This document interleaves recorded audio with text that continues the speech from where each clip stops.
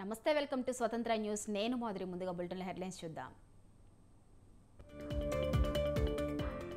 బీఆర్ఎస్కు రాజీనామా చేసిన మేతే శ్రీలత దంపతులు నేడు సీఎం రేవంత్ సమక్షంలో కాంగ్రెస్లో చేరిక.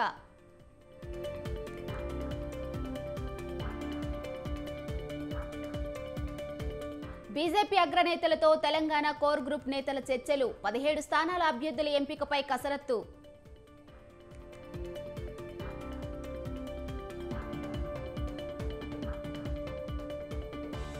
టీడీపీ జనసేన అభ్యర్థుల ప్రకటనతో కార్యకర్తల సంబరాలు ప్రచారానికి సిద్ధమవుతున్న నేతలు.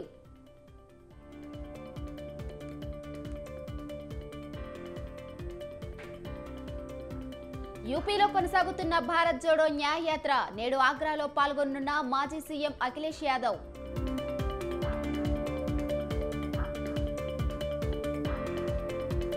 తొమ్మిది వందల బెడ్ల సామర్థ్యంతో మంగళగిరి ఎయిమ్స్ నేడు జాతికి అంకితం చేయనున్న ప్రధాని మోదీ.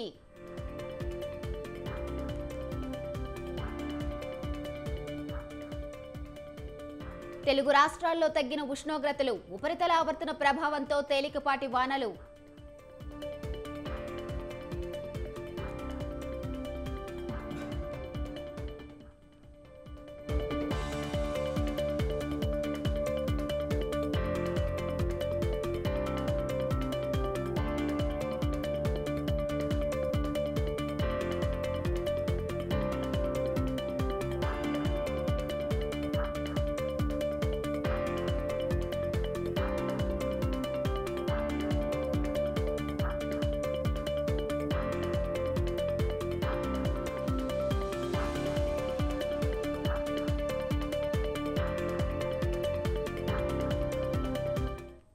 రైట్ బ్రేకింగ్ న్యూస్ చూస్తున్నాం. సోషల్ మీడియాలో కొందరు తప్పుడు ప్రచారం చేస్తూ తనను తీవ్ర అప్రతిష్ట పాలు చేస్తున్నారని ఏపీ కాంగ్రెస్ అధ్యక్షురాలు YS Sharmila Hyderabad cyber crime పోలీసులకు ఫిర్యాదు చేశారు.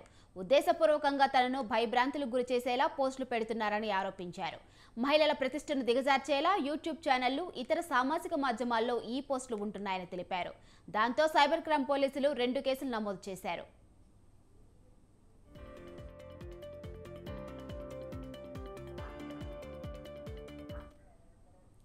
ఏపీసీసీ అధ్యక్షురాలిగా బాధ్యతలు చేపట్టిన తరువాత ఆంధ్రప్రదేశ్లో ప్రజల్ని కలుస్తూ ప్రచారం ప్రారంభించానని షర్మిల తెలిపారు. ఈ సందర్భంగా కొందరు దురుద్దేశంతో సోషల్ మీడియాలో తనపై తన సహచరులపై అసభ్య కామెంట్లు పెడుతున్నారని చెప్పారు. ఇవన్నీ నిరాధారమైనవి అయినా తనని అవమానించేలా ఉన్నాయని ఆవేదన వ్యక్తం చేశారు.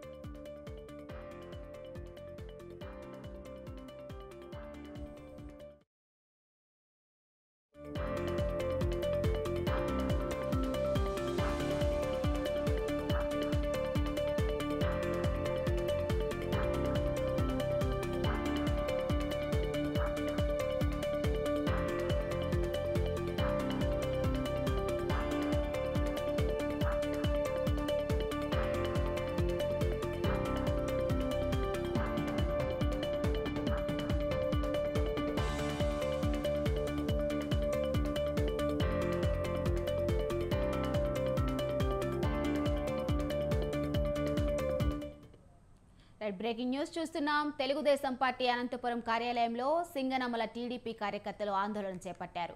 చంద్రబాబు నారా లోకేష్లకు వ్యతిరేకంగా నినాదాలు చేశారు. బండారు శ్రావణికి టికెట్ కేటాయించడం తీవ్రంగా ఖండిస్తున్నారు. టూ మెన్ కమిటీ సభ్యులతో మాట్లాడకుండా ఏకపక్షంగా టికెట్ నిర్ణయించడం సరైంది కాదని మండిపడుతున్నారు. పార్టీకి మూకుమ్మడిగా రాజీనామాలు చేసేందుకు సిద్ధమయ్యారు.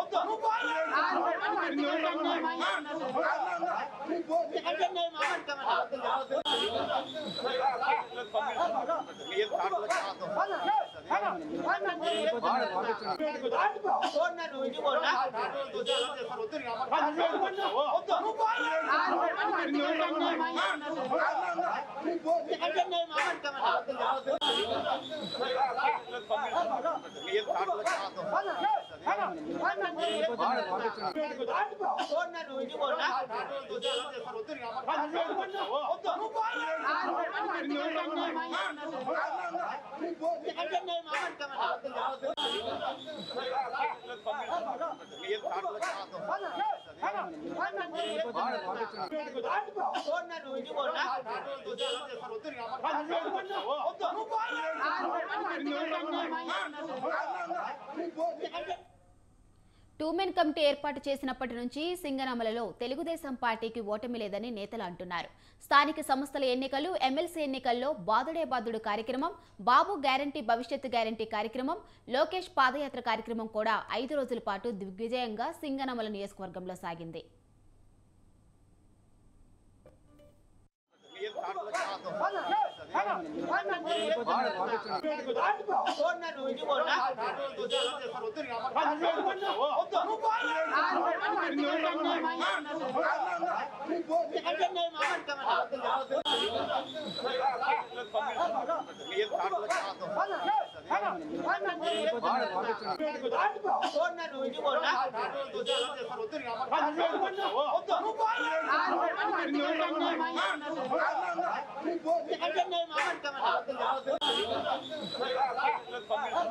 ఏం కాదు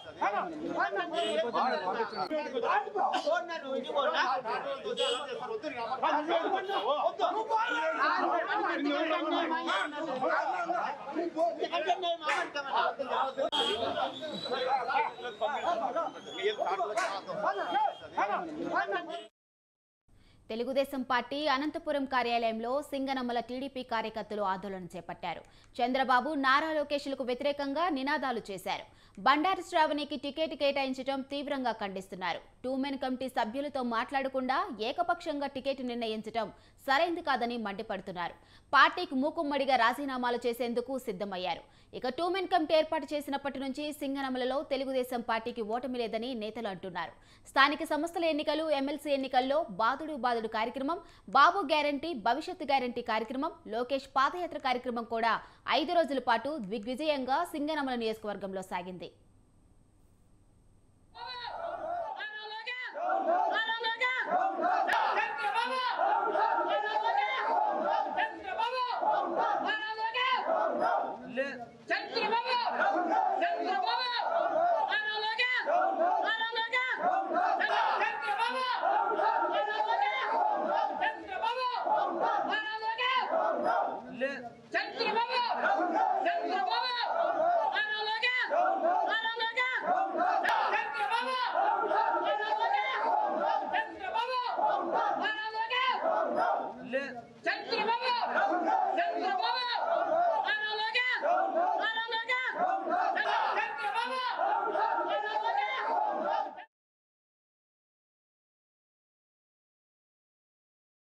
పార్టీ ఎప్పుడైతే స్టార్ట్ అయిందో ఆ రోజు నుంచి తి- సింగనమల నియోజకవర్గానికి ఓటమి అనేదే లేదు గెలుపు అనేదే ఉంది. వెస్ట్ నరసాపురం ఎంపీటీసీ అభ్యర్థిని అయితేనేమి మరి వచ్చేసి ఎమ్మెల్సీ ఎన్నికలు భూమిరెడ్డి రామ్ గోపాల్ రెడ్డి అయితేనేమి మరి వచ్చేసి బాదుడే బాదుడు ప్రోగ్రామ్ అయితేనేమి మరి వచ్చేసి పార్టీ సభ్యత్వాలు అయితేనేమి మరి వచ్చేసి మన లోకేష్ పాదయాత్ర ఏ జిల్లాలో కూడా ఐదు రోజులు ఏ కాన్స్టిట్యున్సీలో లో కూడా జరగలేదు. సింగనమల కాన్స్టిట్యున్సీలో ఐదు రోజులు ఉండి పోయినారు లోకేష్ గారు. లోకేష్ గారి యువకులం పాదయాత్ర కూడా గ్రాండ్ సక్సెస్ చేసి పంపించారు టూ మ్యాన్ కమిటీ సభ్యులు అయితే. కానీ టూ మ్యాన్ కమిటీ సభ్యుల్ని ఆ రోజు నిర్ణయించింది కూడా చంద్రబాబు నాయుడు గారే.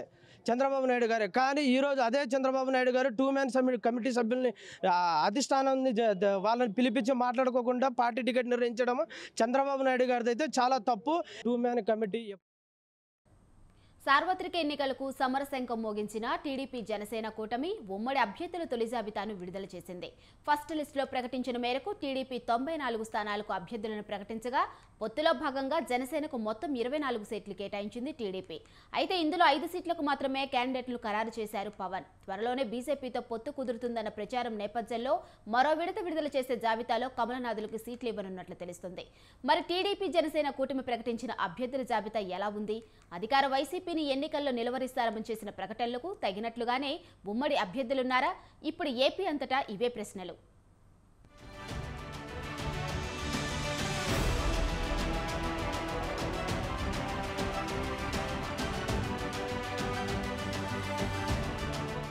దేశవ్యాప్తంగా లోక్సభ ఎన్నికలకు సమయం దగ్గర పడుతోంది. వచ్చే నెల రెండో వారంలో ఎన్నికల నోటిఫికేషన్ వెలువడొచ్చన్న ప్రచారం జోరుగా సాగుతోంది. అయితే ఏపీలో ఓవైపు అధికార పార్టీ ఇప్పటికే అభ్యర్థుల్ని ఖరారు చేసుకుంటూ పోతుండగా టీడీపీ జనసేన లిస్టు ఎప్పుడు ఉంటుందన్న ఉత్కంఠ ఇరు పార్టీల నేతల్లోనే కాదు సామాన్య ప్రజానీకంలోనూ నెలకొంది. అయితే వారందరి ఎదురుచూపులకు బ్రేక్ వేస్తూ టీడీపీ జనసేన అధినేతలు ఉమ్మడిగా అసెంబ్లీకి పోటీ చేయబోయే అభ్యర్థుల పేర్లు ప్రకటించారు.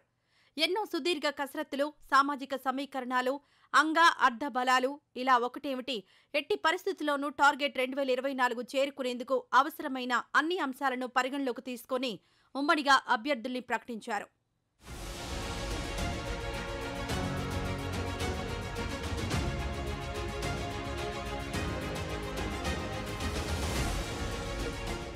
టీడీపీ జనసేన అధినేతలు ఒకే వేదికపై నుంచి విడుదల చేసిన ఈ ఉమ్మడి జాబితాలో మొత్తం తొంభై తొమ్మిది స్థానాలకు క్యాండిడేట్లను ఖరారు చేశారు.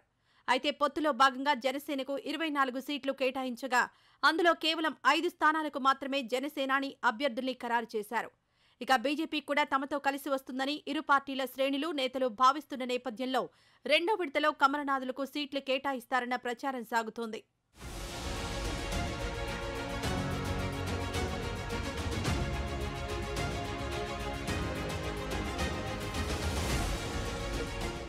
టీడీపీ అధినేత చంద్రబాబు ప్రకటించిన తెలుగు తమిళ్ళ జాబితా ఓసారి పరిశీలిస్తే టెక్కల నుంచి అచ్చెన్నాయుడు హిందూపూర్ నుంచి నందమూరి బాలకృష్ణ మంగళగిరి నుంచి నారా లోకేష్ కుప్పం చంద్రబాబు నాయుడు విశాఖ ఈస్ట్ వెలగపూడి రామకృష్ణ బాబు నర్సీపట్నం చింతకాయల అయ్యన్న పాత్రుడు పెద్దాపురం నిమ్మకాయల చినరాజప్ప జగ్గంపేట నుంచి జ్యోతుల నెహ్రూ విజయవాడ ఈస్ట్ గద్దె రామ్మోహన్ రావు బరిలో దిగనున్నారు.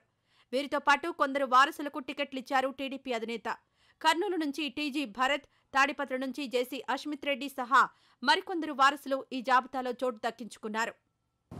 నూట డెబ్బై ఐదు సీట్లలో ఇరవై నాలుగు సీట్లు జనసేన పోటీ చేస్తుంది. మూడు పార్లమెంటు జనసేన పోటీ చేస్తారు. మిగిలిన సీట్లలో Telugu Desam party ఇప్పటికుంది Ichchapuram Bendalam Ashok garu Tekkali Kinjarapu Atchannaidu Amudala Valasa Kona Ravikumar Rajam Kondru Muralimohan Kurupam Jagadeeswari Parvathipuram Vijaya Bonela Salur Gummadi Sandhyarani Bobbili RSV KK Rangarao Gajapathi Nagaram Kondapalli Srinivas Vizianagaram Pusapati Aditi Vijayalakshmi Gajapathiraju Visakhapatnam east Velagapudi Ramakrishnababu Visakhapatnam west PGVR Naidu alias Gannababu Araku valley Siriveri Donnadora Payakaraopeta Vangalapudi Anitha Narsipatnam Chintakayala Ayyannapatrudu Tuni Yanamala Divya Peddapuram Nimmakayala పొత్తులో భాగంగా జనసేనకు ఇరవై నాలుగు సీట్లు కేటాయించింది TDP. అయితే ఇందులో కేవలం ఐదు సీట్లలో మాత్రమే అభ్యర్థుల్ని ప్రకటించారు జనసేనాని పవన్ కళ్యాణ్. త్వరలోనే మిగిలిన సీట్లకు క్యాండిడేట్ల పేర్లను ఖరారు చేయనున్నారు పవన్. ఇక జనసేన జాబితా చూస్తే నెల్లిమర్ల నుంచి లోకం మాధవి అనకాపల్లి నుంచి కొణతాల రామకృష్ణ రాజానగరం బత్తుల బలరామకృష్ణ కాకినాడ రూరల్ పంతం నానాజీ తెనాలి బరిలో నాదెండ్ల మనోహర్ దిగనున్నారు. జనసేన చాలా కీలకంగా ఇరవై నాలుగు స్థానాల్లో పోటీ చేస్తుంది. భారతీయ జనతా పార్టీని దృష్టిలో పెట్టుకొని కూడా జనసేన చాలా కీలకంగా పదకొండు స్థానాల్లో పోటీ చేయాలని నిర్ణయించుకున్నాం. ఇరవై నాలుగు నియోజకవర్గాలు ఐదు నియోజకవర్గాలు దానికి సంబంధిత అభ్యర్థుల్ని ప్రకటిస్తా ఉన్నాం. నెల్లిమర్ల శ్రీమతి లోకం మాధురి గారు అనకాపల్లి శ్రీ కొనతల రామకృష్ణ గారు రాజానగరం దత్తుల బలరామకృష్ణ గారు కాకినాడ రూరల్ పంతం నానాజీ గారు తెనాలి శ్రీ నాగేంద్ర బలహన్ గారు పోటీ చేస్తారు.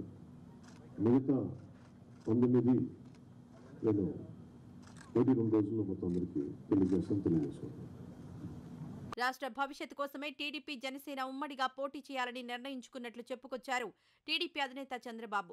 జగన్ పాలనలో సామాన్యులు రాజకీయ నేతలు సైతం ఇబ్బందులు పడినట్లు తెలిపారు. టీడీపీ జనసేన పొత్తు కుదిరిన రోజే తమ విజయం ఖరారైందన్న ఆయన వైసీపీ ఆ రోజే కాడి పడేసిందని వ్యాఖ్యానించారు. ఈరోజు ఈ కలయిక రాష్ట్ర భవిష్యత్తు కోసం. ఏ ఇద్దరు వ్యక్తుల కోసమో ఏ రెండు పార్టీల కోసం కాదు. ఐదు కోట్ల ప్రజా ప్రయోజనాలు ఆశించి ఈరోజు మనస్ఫూర్తిగా రెండు పార్టీలు కలిసి పనిచేయాలని ఈ నిర్ణయం తీసుకున్నాం.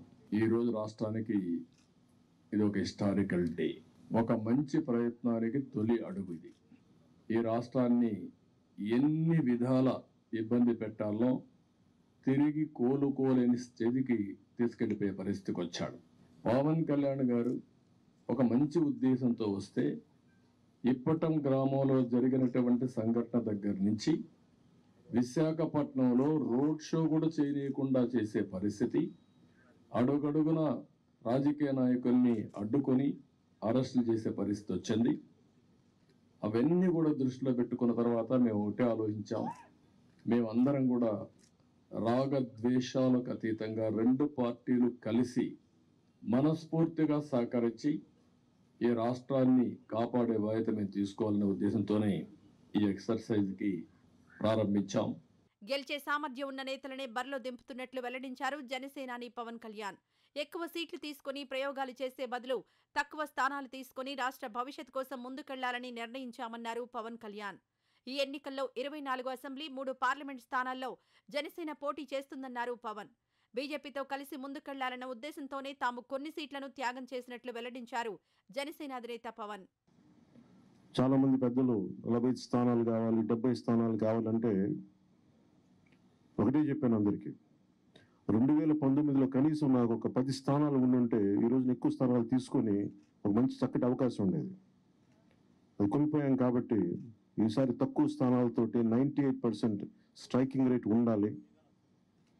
దాంట్లో భాగంగానే ఇరవై నాలుగు స్థానాలు మూడు పార్లమెంట్లు ఫిక్స్ అయిపోయాం. అలాగే ఇరవై నాలుగు స్థానాలు కనిపిస్తున్నాయి కానీ జనసేనకి. మనం చూడాల్సింది మూడు పార్లమెంట్లో ఇంకొక అదనంగా ఇంకొక ఇరవై పద్దెనిమిది పద్దెనిమిది నుంచి ఇరవై దాకా స్థానాలు అధికంగా యాడ్ అవుతాయి. సో దాదాపు ఒకలా చూస్తే జనసేన అందరూ అనుకున్నట్టుగా ఒక నలభై స్థానాల్లో పోటీ చేస్తున్నట్టు లెక్క మూడు పార్లమెంట్తో కలుపుకొని. నేను కూడా ఒక ఈ అలయన్స్ బలంగా ఉండాలి టీడీపీ జనసేన అలయన్స్ బలంగా ఉండాలి అంటే నేను కూడా ప్రత్యేకించి భారతీయ జనతా పార్టీని దృష్టిలో పెట్టుకొని కూడా నా నా సీట్లని కుదించుకోవడం జరిగింది. మొత్తంగా అధికార పార్టీ అభ్యర్థుల్ని ఢీకొట్టే సమర్థత ఉన్న నేతల్ని ఎంపిక చేశామని ఇటు టీడీపీ అటు జనసేన అధినేతలు చెబుతున్నారు. ఎట్టి పరిస్థితుల్లోనూ రెండు వేల ఇరవై నాలుగు ఎన్నికల్లో విజయ బావుటా ఎగురవేయడం ఖాయమని అంటున్నారు.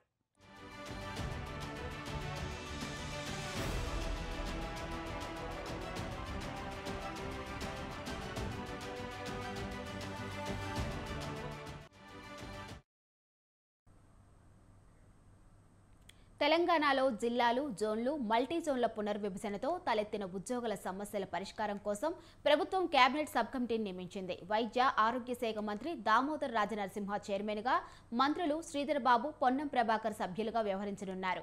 GO number three one seven GO number forty six కారణంగా ఎదురవుతున్న సమస్యలను ఈ కమిటీ అధ్యయనం చేసి ప్రభుత్వానికి నివేదిక ఇవ్వనుంది.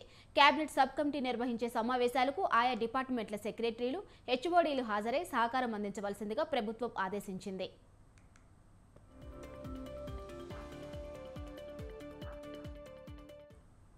ప్రభుత్వ ఉద్యోగులు ఉపాధ్యాయులు ట్రెజరీ నుంచి జీతం అందుకుంటున్న సిబ్బంది ఎదుర్కొంటున్న జీవో త్రీ వన్ సెవెన్ సమస్యలపై స్టడీ చేసి పరిష్కార మార్గాలను సూచించేలా మంత్రివర్గ ఉపసంఘం ఏర్పాటైంది.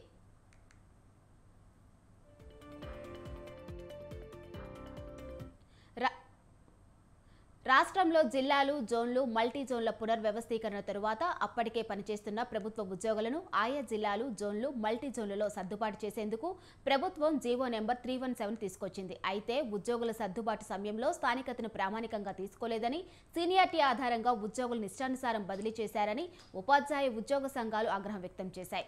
కొందరు ఉద్యోగులకు స్థానిక జిల్లా జోన్ మల్టీ జోన్ దాటి ఇతర ప్రాంతాల్లో శాశ్వత పోస్టింగ్లు ఇచ్చారు బదిలీ చేశారు. జిల్లాలు జోన్లు మల్టీ జోన్ల వారీగా జాబితాల తయారీలోనూ వివక్ష చూపించారని సంఘాలు మండిపడ్డాయి.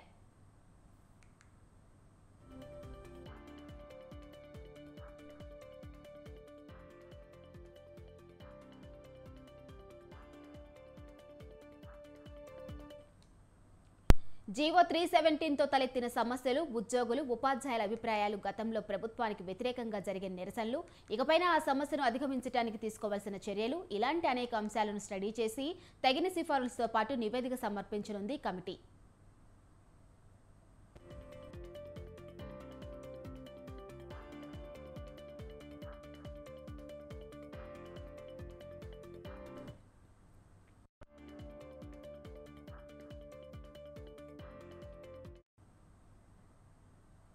ఇవి బులెటిన్ అప్డేట్స్ చూస్తూనే ఉండండి స్వతంత్ర.